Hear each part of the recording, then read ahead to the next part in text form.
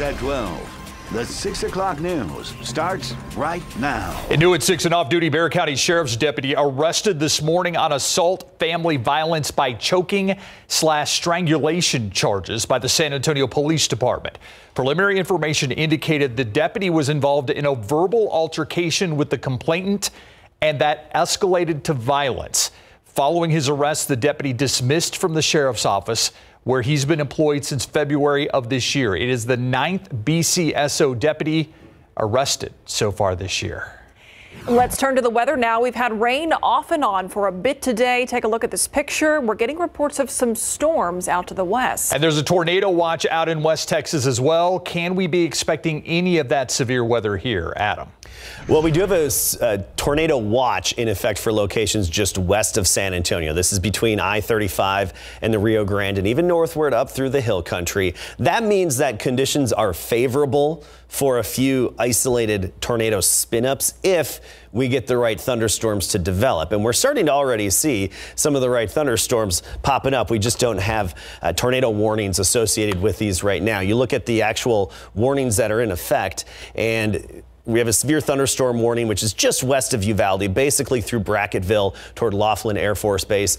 That's where we have these stronger thunderstorms. And this is all that we have out there right now. But you can see a lot of lightning. And what's unique about these, the lightning actually spreads out way out ahead of the actual thunderstorm. So those of you in Uvalde and even Sabinal and Leakey, it's a good idea to stay inside right now. This is a unique supercell that's really throwing the lightning far away from the anvil of this thunderstorm. This storm over Brackettville does have the history of about tennis ball size hail associated with it as it moved through Del Rio, Laughlin Air Force Base, and even Brackettville area. There's a look at the radar over the past couple of hours. We're going to take the lightning off so you can just see the reflectivities, but that's all that we have out there at the moment. Our storm chances here in San Antonio increase as the evening wears on. I think between 10 p.m. and about 3, 4 a.m. is our peak potential here in town. More on the primary threats coming up you, Adam.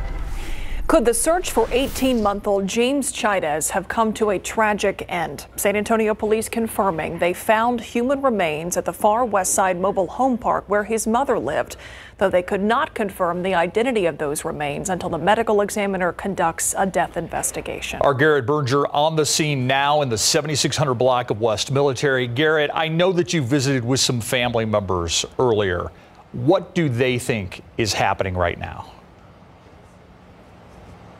Well, unfortunately, Steve, they are believing the worst right now.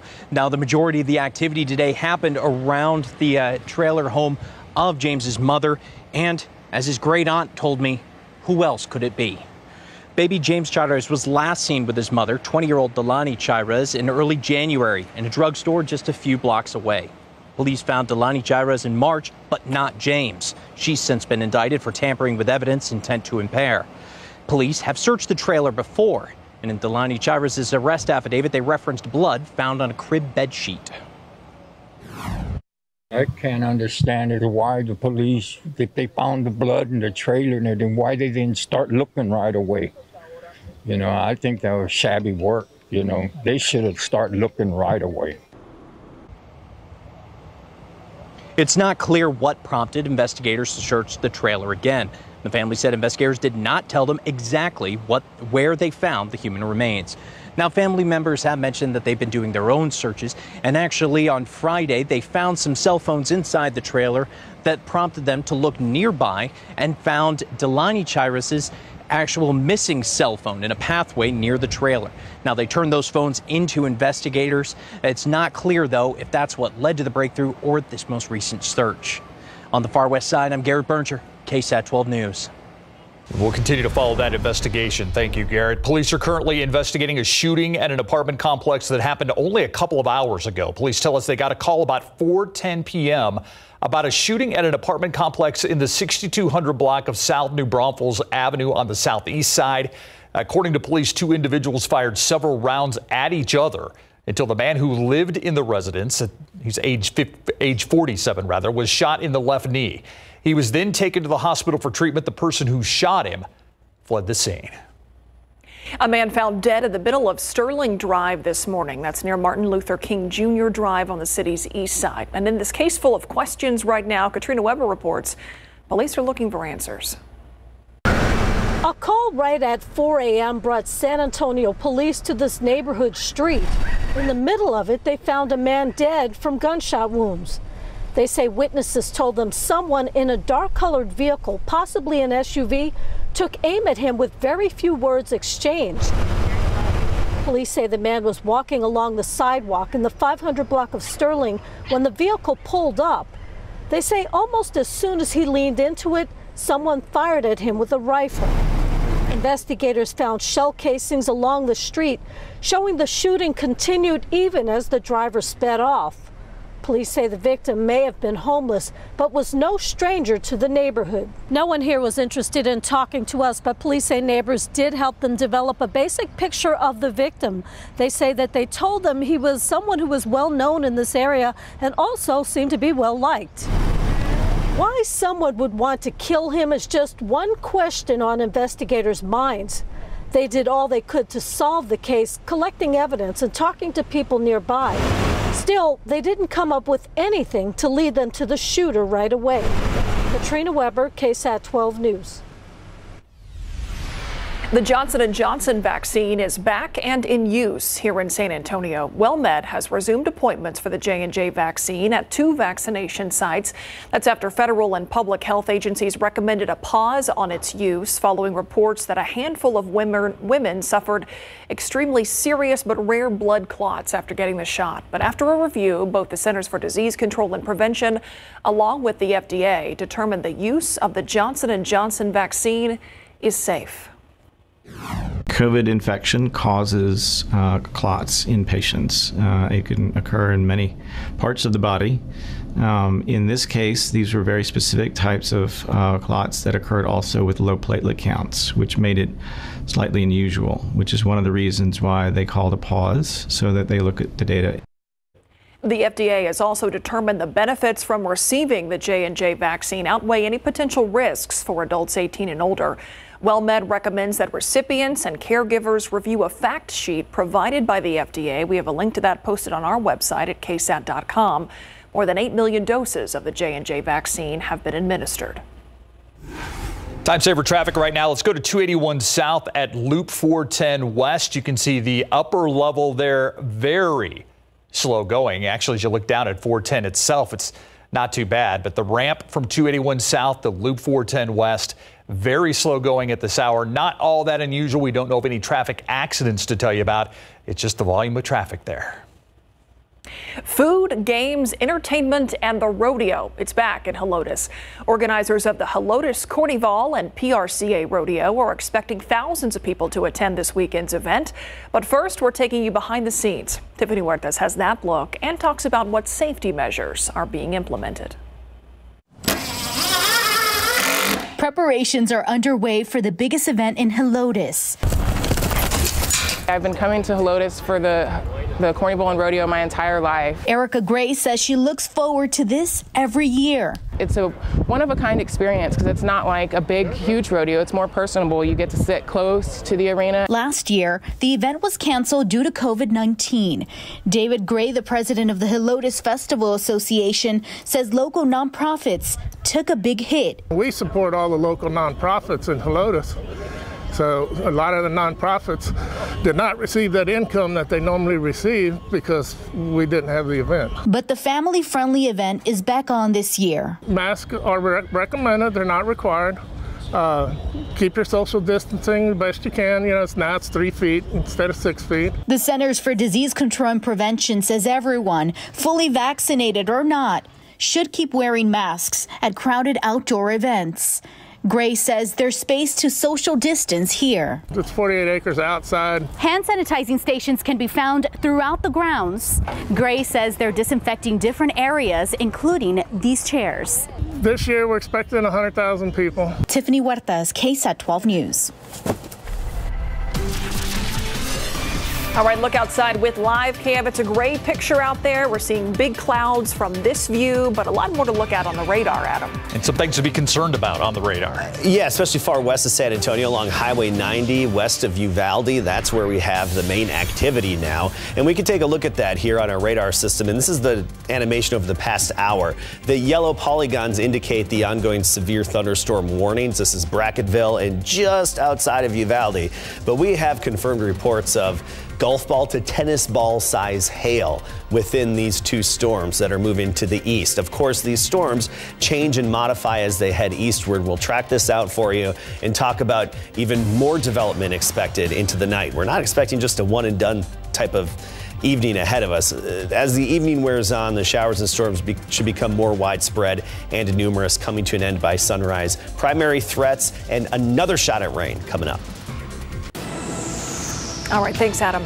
Still to come here at 6, it's been a stressful year for everyone, and that stress can have physical side effects. What to know if you're trying to get pregnant.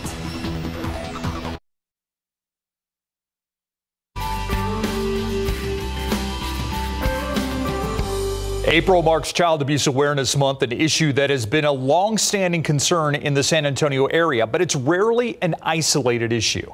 In today's KSAT Community Town Hall, our panel of experts say they not only saw a rise in child abuse cases due to the pandemic, but also domestic violence. And oftentimes the two go hand in hand. Angela White, the CEO of CASA San Antonio, responded to an example of a young boy witnessing his mother's abuse at the hands of his father. We really have got to think about the impact of that young man then growing up and the circle, the cycle of violence, the cycle of generational harm. And we have to break it. Other risk factors for child abuse include substance abuse, poverty, and mental illness. The panelists shared resources that focus on helping families that may be experiencing those challenges. You can watch the full discussion on KSAT.com or the KSAT TV app. If you've been thinking about getting pregnant, but like almost everyone, have been stressed because of the pandemic, it might be time to learn some better coping mechanisms. If not, you could have a higher probability of giving birth too early. Ursula Pari reports that a team of researchers has found a woman's stress level, even before she gets pregnant, can have serious consequences for her baby. Smoking, excess weight, high blood pressure, or diabetes during pregnancy all are known risk factors for premature birth. For years, stress has also been on the list, but now researchers are looking at the impact of stress before conception. Moms who were experiencing heavy stress before they even became pregnant had shorter gestation, shorter pregnancies. Professor Dunkel Schetter and her research team at UCLA surveyed 360 mothers about their generalized stress or perceived stress levels. They also asked about environmental stressors, including money worries, job loss, lack of food, parenting challenges, and interpersonal violence. What they found is that a woman's stress up to four years before conception impacted the length of her pregnancy. So it certainly is surprising to be able to show that you can go that far back and affect an outcome of a nine month pregnancy. The researchers found that women who were exposed to a lot of stress and very little stress prior to their pregnancies had the shortest term pregnancies, while those who just had moderate amounts of stress seemed to be able to cope better. Their pregnancies were the longest. In any event, researchers say this might be a good indication that if you're thinking about getting pregnant, you need to do a mental health check. Ursula Pari, KSAT 12 News. All right, as we're doing this newscast, we're hearing our weather team react to what you guys are seeing on the radar. There's a lot to keep track of, and of course, we're worried about the potential of severity here, Adam. Yeah, and already uh, two severe thunderstorms out there west of San Antonio along Highway 90. We're talking Uvalde, Sabinal points westward through Brackettville. But overall tonight for everybody, let's get to the primary threats. Straight line wind gusts 60 to 70 miles per hour, large hail. We're talking golf ball size, some locations even larger. It'll be localized, but there is that potential. And then we also have that, you know, moderate to medium risk of even a few isolated tornadoes spinning up out there. I do want to show you this. This is the view from Kerrville. Look at these cumulonimbus mammatus clouds. These are way far offset from the actual thunderstorm that's approaching Sabinal right now. But the anvil, the top of the cloud that shoots out ahead of it, well, that's where you get these bubbly looking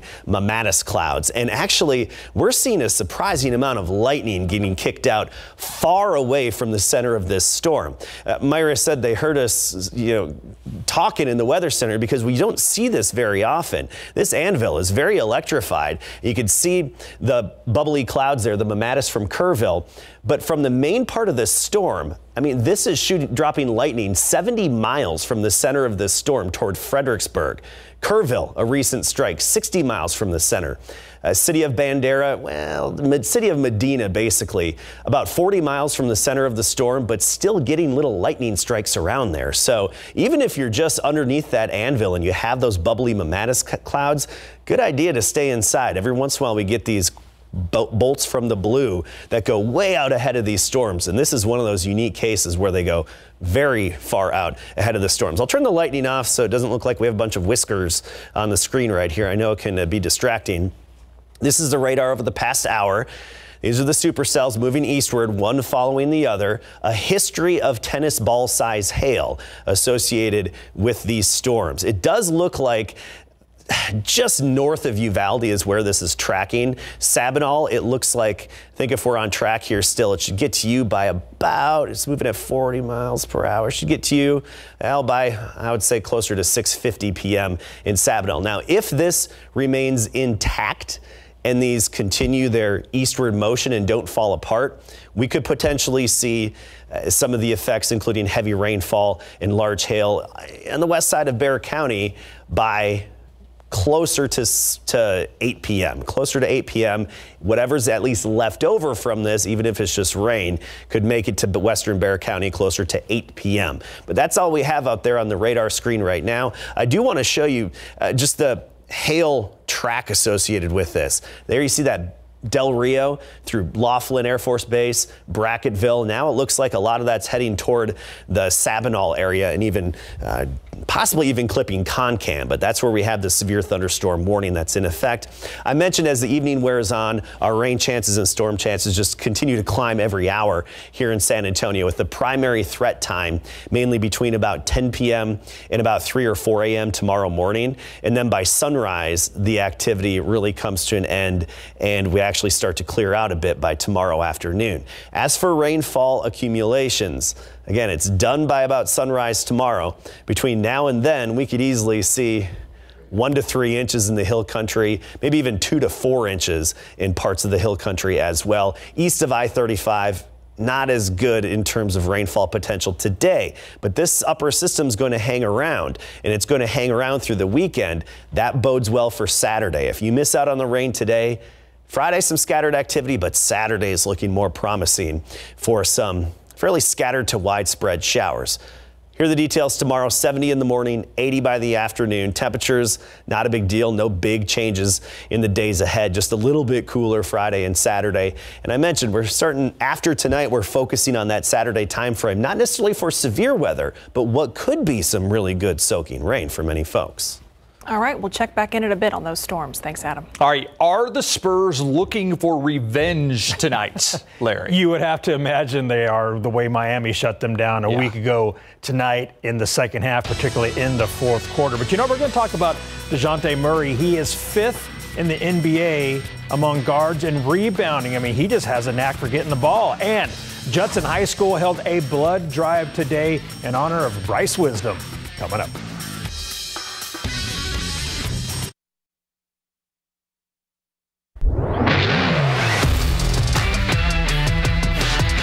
Spurs did not hold shoot around this morning ahead of their game at the Miami Heat. The Silver and Black will look to push their winning streak to four straight, and they'll have to do so without Derrick White, who's out with a sprained right ankle. And Pop said moments ago during pregame that, quote, I don't expect him back this season, end quote. And the Spurs overtime win Monday night at the Wizards. Dejounte Murray grabbed a whopping 17 rebounds, a new career high for DJ. Just want to win the game. Uh, I was trying to do whatever it takes to win the game, you know. And I know, you know, being able to have the ability to affect the game in, in all ways uh, possible, you know, it, it, helps your team. So, you know, that's all I was. I was trying to be gritty and, and help my team win. Heat will play the uh, Spurs tonight at 7 in Miami. Judson High School held a blood drive today in honor of former football player Bryce Wisdom, the young man who battled a rare form of kidney cancer known as Wilms tumor. He passed away in July of 2020 at the age of 17. Thanks to his huge smile, Bryce captured the hearts of our community and beyond during his fight. He frequently needed blood platelets during his 19 weeks of aggressive chemotherapy treatments. Today, he would have turned 18 years old, so donating blood on Bryce's birthday is a great way to honor his life by saving others.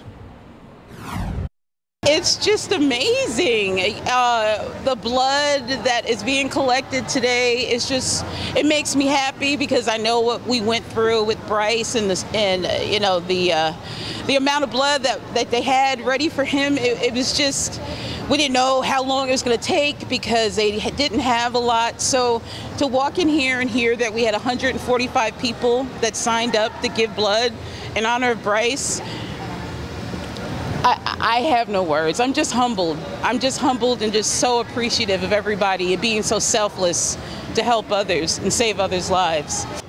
Judson ISD will be holding two more blood drives to honor Bryce, who would have been a senior at Judson High. The next blood drive will be from 8 a.m. to 2 p.m. on May 11th at Wagner High School, and the third one is from 8:30 a.m. to 4 p.m. on May 13th at Veterans Memorial High School. San Antonio FC will kick off its 2021 season this Saturday at home at the Colorado Springs Switchbacks Football Club. Last season, SAFC won Group D with 33 points, but lost 1-0 to New Mexico United in the first round of the playoffs. During training camp, head coach Alen Marcina has talked about the team establishing an identity. Goalkeeper Matt Cardone says they've worked hard on building that identity during camp. So, what do they want their identity to be? We want to be a high intensity team. Want to bring bring the focus for for the entire match. Uh, we want to defend hard. We want to score a lot of goals. Um, it's all about intensity and focus. SAFC will host Colorado Springs this Saturday, 7:30 p.m. at Toyota Field. Fans will be allowed approximately 3,200 to start off the season.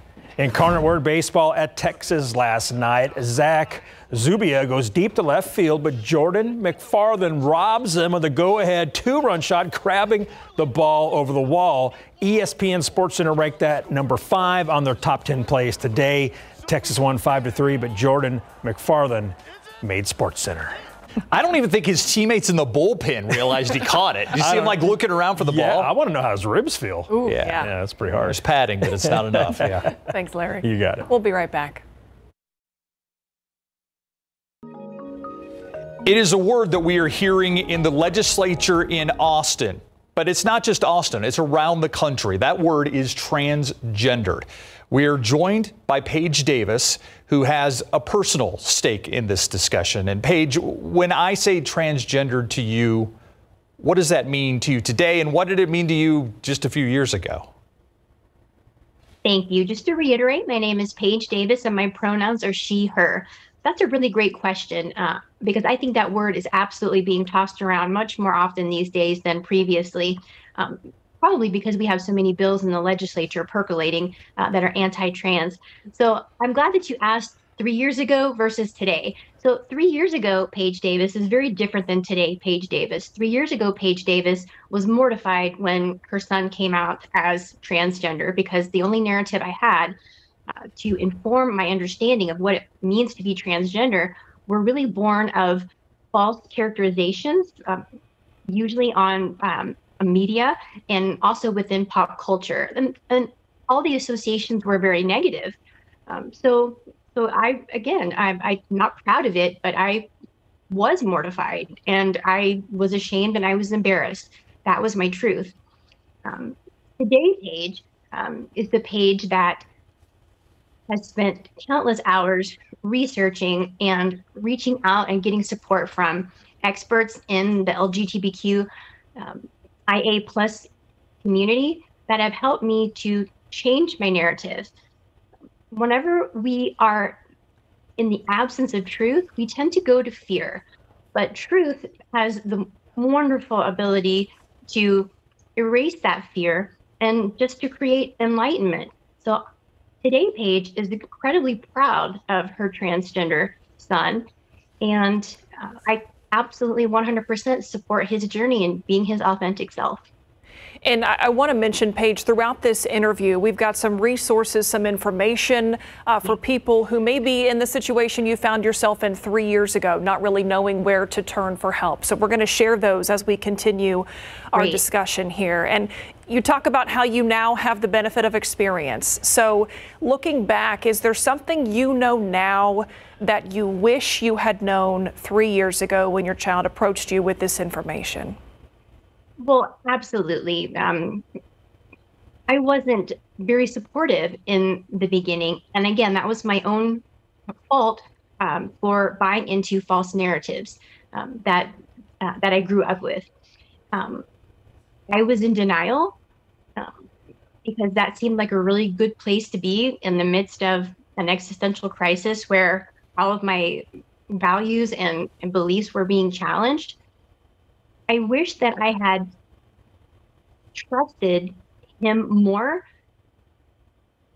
to tell me exactly what was going on, but to really listen. And I didn't really listen. I heard him. I didn't I didn't want to listen. And so I think that in retrospect, if I could have been more supportive from the get-go, that would have potentially changed our journey. But and at the same time, we've had a very positive journey because no one has to go through this alone. Um, being transgender is not bad. It's not wrong. It's not um, an aberration. Um, it just is. And so once we can understand what it means to be transgender, it's really just not a big deal. They're just humans like you and I. They're just people. But that's not how a lot of people view it. I mean, you've run into the fact. I mean, you told me when we talked earlier this week that you've lost friends over your journey with your son. Well, absolutely. And and what I want let everybody know, and again, this is my full transparency. Um, I had very negative misconceptions about what it meant to be transgender. And so it makes sense for the general population to perhaps have some of those beliefs as well, simply because those are the only narratives that were really available to us. I think that it's I'm sorry, go ahead, Myra. Well, Paige, I, I just, I, I, know that we only have a few minutes here and we're, we're barely scratching the surface. But for a lot of people, when they hear about issues surrounding transgendered, it's in a place like headlines or seeing what's playing out in the legislature. And, you know, no one needs to tell you how polarizing some of those issues can be. But despite how people feel about politics or their, their opinions on policy, I'm just curious what it's like for you as a mom to witness other people weighing in on this deeply personal topic that's obviously very emotional for you and, and can be so controversial in big public spaces.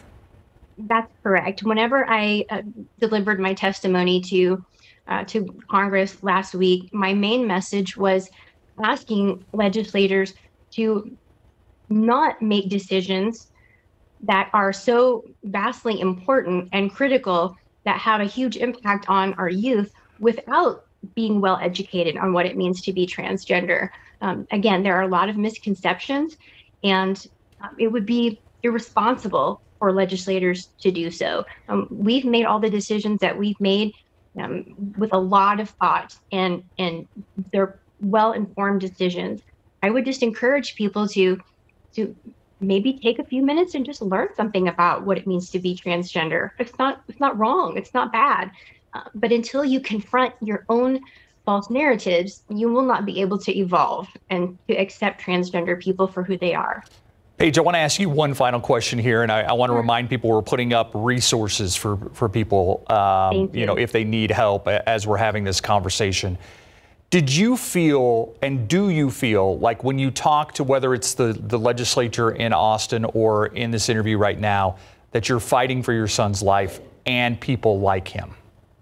Absolutely. I can't um, speak for every trans person, um, but I can speak to the fact that it's well documented that suicide rates are exponentially higher for, for the trans community.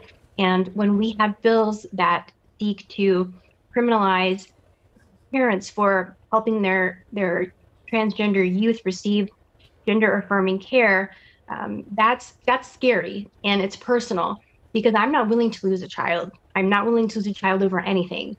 And so some of these bills and in, you know percolating throughout the legislature are incredibly scary and, and worrisome. My best advice is for people to just become informed. There's so many resources online. You can start at PFLAG, sanantonio.org. We have a helpline, we have a support group. Just find a way. There are people out there like me uh, who can help you, who can who can guide you because I've had wonderful mentors who have guided me. Paige, thank you so much for your time, for sharing insight, your perspective on this very deeply personal topic. You talk about your desire for people to learn. I hope that's what we have helped some people do in these last few minutes. Thanks for being me with us. Me too. Me too. Thank you so much for having me. Thank you, Paige. Let's continue this conversation down the road. We'll be right back.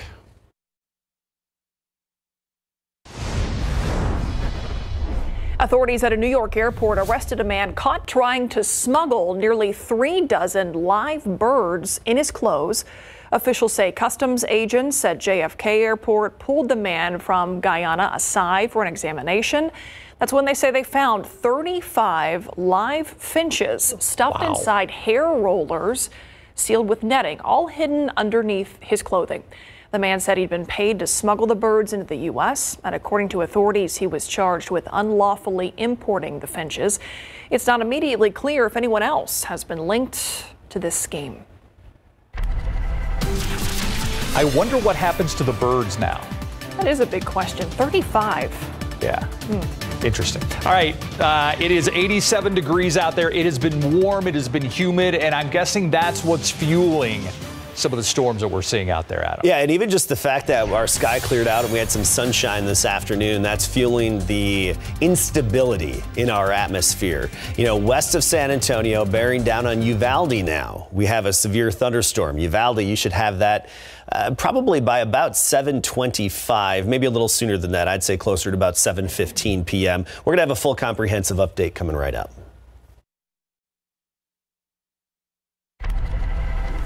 To the buzz and Amazon expanding its home grocery deliveries straight into the garage. The online retailer says people can now choose to allow delivery people to leave their groceries orders, leave their grocery orders inside of their garages.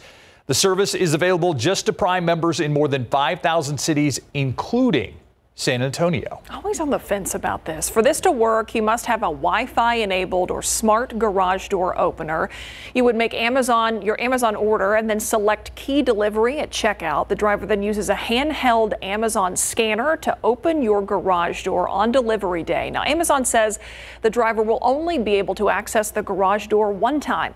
Customers are notified about the delivery in real time. It's a lot of stuff to go through. Yeah, absolutely. Spotify has launched a paid subscription platform for podcasts. Podcasters will be able to mark certain episodes or bonus content as subscriber only. Spotify says creators will receive 100% of the revenue for the next two years. You have a podcast, right? KSAT Explains has a podcast. That's right. you. But starting in 2023, it plans to introduce a 5% fee. The premium podcast will reportedly have three payment tiers at three, five, or eight dollars per month. Competing platform Apple announced it was launching its own premium subscription only service last week. It's not just me. It's the Myra cast. Grab your favorite mask and cape. Today is National Superhero Day.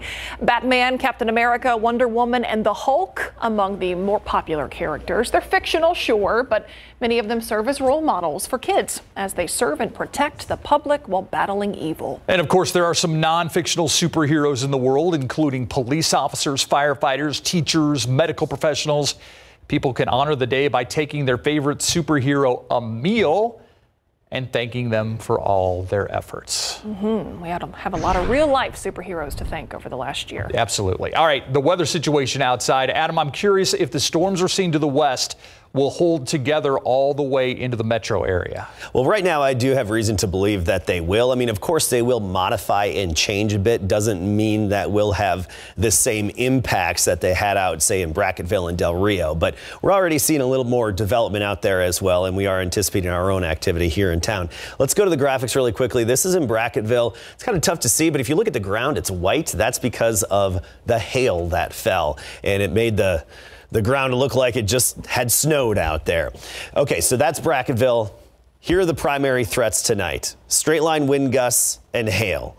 Those are the highest threats. Wind gusts up to 60, 70 miles per hour. Hail potentially a golf ball or even bigger. I mean, we've already seen some hail up to the size of tennis balls west of San Antonio, Del Rio to Brackettville area, and especially west of I-35. You know, we just can't rule out the isolated tornado spin up or two through the nighttime hours. Severe thunderstorm warning. This is for Sabinal, Uvalde, Concan area. And this is for until 7:15 p.m. Now, I do anticipate this to make it to Uvalde even before 7 o'clock here, and probably within the next uh, 10 minutes a little bit of hail moving its way into Uvalde. That's what we're anticipating here. This purple area, that indicates the likelihood of hail out there, outside right now. And Uh, with that hail, of course, could be some damage, and this is headed right toward Uvalde. We have this product right here, which indicates the white showing where we most likely have the hail within these storms. So these white areas kind of indicate there's the hail, there's the hail, and this is all far west of San Antonio at the moment. But this type of activity will further develop and push eastward through the night tonight. Again, these white pockets on here, that indicates where we uh, likely have the hail at this moment. And we're seeing some development out ahead of this main of these main supercells. We're seeing a little bit of development in Hondo as well in central Medina County, and this will likely continue to develop and we'll see that further development through the night. This is the past hour. It's basically right along the Highway 90 corridor now, and even a new severe thunderstorm warning. This would be the third for the Del Rio area and Laughlin Air Force Base area. Okay, that's a new warning that just came in. Another round of straight line wind gusts and the potential for the large hail as well. I'm going to turn on the lightning because we're seeing some lightning strikes way out in advance of these storms. I mean, unusually far out in advance. We're talking toward Kerrville, Boerne, and Comfort. We're starting. We're seeing the lightning strikes out ahead of it. The atmosphere is very unstable. Our primary time frame here in San Antonio is likely between about 10 p.m. and 4 a.m., give or take. Should that development stay together that we have out there right now, should they uh, remain intact, we'll probably see them around 8 o'clock is when we would see those on the west side of San Antonio. Otherwise, our futurecast gives you a general idea through the night tonight, more development. We are not expecting this to be one of those just one and done situations multiple storms cycling through with the potential of the large hail and, of course, straight line winds. Into tomorrow morning by sunrise, we're expecting this to basically be out of here. Out of here, a few lingering showers possible, but that would really be it. And tomorrow, despite the lingering showers in the morning, by and large, we'll have a decent amount of sunshine, high temperature right near 80, a north wind at 10 to 15. If you miss out on the rain today, I mean, we could be talking two to four inches in parts of the hill country and locations west of I 35. But if you miss out on it today, Friday's another shot, Saturday, an even better chance. We have right now some uh, high hopes and confidence into Saturday. All right, lots to keep track of this week. Thanks, Adam. In case you missed it, coming up next.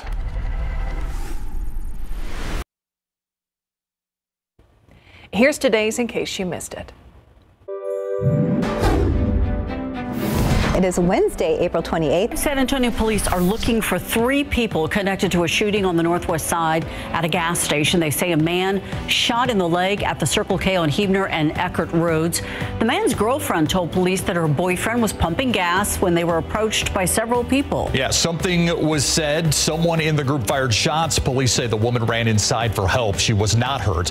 The man taken to the hospital. The search for those suspects continues. Well, the search continues for three migrant teens missing from the shelter at Freeman Coliseum Expo Hall. Officials from the Department of Health and Human Services say the teens left the shelter during the week of April 12th and have not been seen since. Kathy Crosby, an external affairs officer with HHS, said, quote, on rare occasions, youth leave the shelters without permission. In each circumstance, authorities are notified. Children are usually found and returned and then typically transferred to another facility, end quote. A man is dead and San Antonio police are looking for his killer. According to SAPD The man was found in the middle of Sterling Street on the city's east side around 4 in the morning. Witnesses say that he was walking along the sidewalk when someone in an SUV drove up beside him and shot him with a rifle. At last check, no one's been arrested and that man has not been identified. Another San Antonio staple has fallen to the coronavirus. Lulu's Bakery and Cafe located just north of downtown at North Main and East Euclid Avenue tempor temporarily shut down in March of last year due to the pandemic, but now the local food icon is closing its doors for good. The restaurant is placing all of its kitchen equipment up for auction to be sold off in a liquidation sale. For more details on that closure, you can head over to ksat.com.